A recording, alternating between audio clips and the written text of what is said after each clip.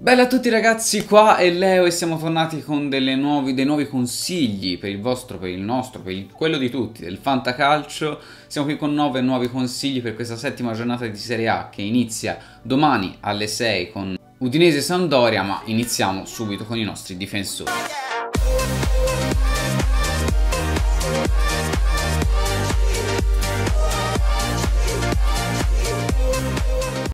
Primo nome è quello di un difensore del Genoa che gioca in casa del Bologna ed è Zukanovic. Zukanovic che nel Genoa è quello con la fanta media migliore, ovvero quello che tra eh, voto in pagella e bonus e malus ha la media migliore tra tutti i difensori del Genoa. Quindi secondo me questa non sarà una partita troppo impegnativa per il Genoa troppo impegnativa per la difesa.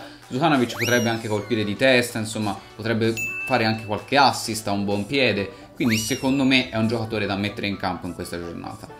Il secondo nome è quello di un capitano, il capitano della Fiorentina, ovvero Astori. Astori che giocherà con la Fiorentina fuori casa a Verona contro il Chievo, però il Chievo non dovrebbe essere un avversario troppo ostico eh, per la difesa della Fiorentina e Astori dovrebbe riuscire a manovrare bene la propria difesa.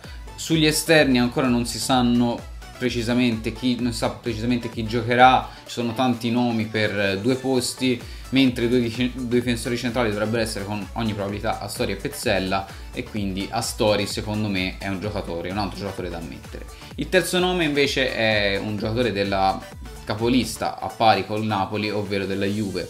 Eh, nella Juve io vi consiglio Asamoah perché Asamoah? Ok, ci sono tanti difensori della Juve, perché proprio Asamoah, anzi tanti giocatori della Juve? Ok, metteteli i giocatori della Juve ovviamente, ma metteteli quasi sempre, perché comunque la Juve fa bene. Contro l'Atalanta fuori casa non, può, non è una partita proprio semplicissima, però secondo me Asamoah quando chiamato in causa ha fatto sempre bene, quindi dovrebbe in teoria rilevare Alessandro per farlo un po' riposare e quindi io a Samoa un pensierino ci farei. Non, dipende anche un pochino da chi altri giocatori avete in difesa. Cioè, se avete, eh, non so, tre top player in difesa, ok, mettete quei, quei, tre che vi fanno sempre gol ogni giornata. Non so se avete Gulam o altri giocatori del genere che vi hanno sempre fatto bene, mettete loro. Però Asamoah può essere una buona idea.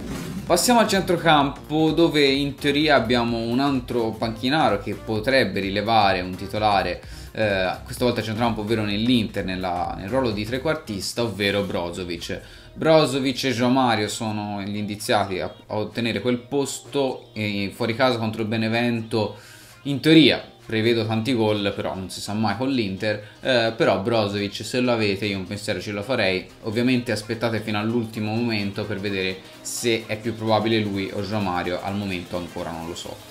Altro nome per il centrocampo, questa volta ci spostiamo sulla fascia, ci spostiamo alla SPAL che gioca in casa con il Crotone ed è Lazzari. Lazzari è sicuramente uno dei migliori eh, della SPAL, uno di quelli che ha convinto più di tutti eh, in questo inizio campionato e perché non metterlo in casa con il Crotone? La SPAL ha fatto vedere delle buone cose in alcune partite, potrebbe farne vedere altre adesso che magari è sotto pressione contro il Crotone, spero per la SPAL che ce la faccia e Lazzari è un indiziato anche a segnare. L'ultimo giocatore per il centrocampo è Milinkovic Savic, il centrocampista della Lazio. Dovrebbe essere recuperato per questa partita in casa contro il Sassuolo, quindi mettetelo ragazzi perché Milinkovic Savic è un gran bel giocatore, segna, fa assist, fa delle buonissime partite, insomma dovrebbe essere recuperato, io un pensiero ce lo farei. E andiamo infine all'attacco dove ho tre nomi. Il primo, ragazzi, come fare a non mettere un giocatore dell'attacco del Napoli?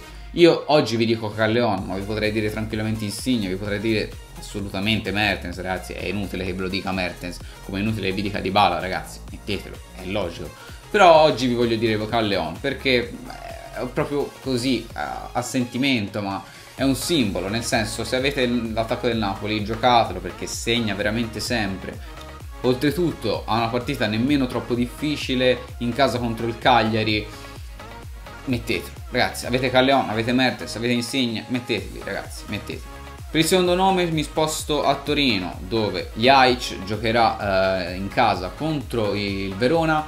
Jaic eh, uno dei migliori a, a, livello offensivo del Torino insieme a Belotti. Jacopo Falche non ha iniziato tanto bene, quindi tra i due preferirei Jaic.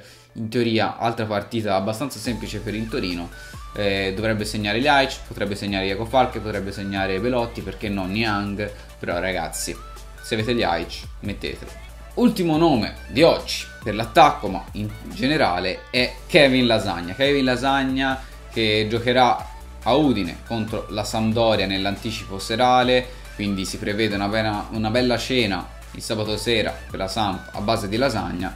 Con questo questa battutaccia proprio orribile, diciamo che posso chiudere qua. Ragazzi, vi invito a lasciare un bel mi piace, commentare con secondo voi chi potrebbe segnare, chi avete, chi secondo me Leo potrei mettere questo, potrei mettere quest'altro. Commentate, io cercherò il più possibile di, di, rispondervi. Lasciate un bel mi piace, iscrivetevi al canale se non l'avete fatto, passate alla pagina Facebook e il profilo Instagram, trovate in descrizione.